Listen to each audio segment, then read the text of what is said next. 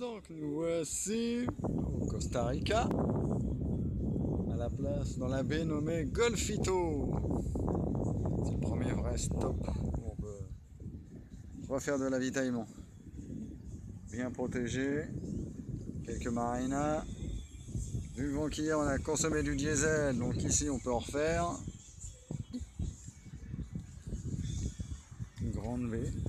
Voilà.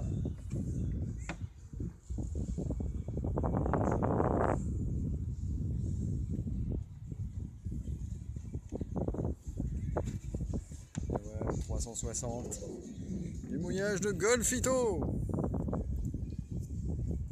Allez, à plus.